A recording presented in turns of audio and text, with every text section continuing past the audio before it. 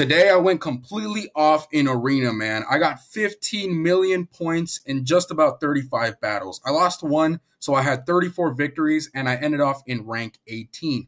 This is of course going to change since this is only day 1 of the arena season. However, I still think it's pretty impressive and I think it might be a little entertaining for you guys to see, you know, the, the teams that I use and the opponents that I fight and how I specifically use my characters. Um, so yeah, it's really just it. I'm just going to show the gameplay. I'm not going to talk too much. Um, I hope you guys enjoy your day. Stay safe and stay clean. And don't forget to like and subscribe.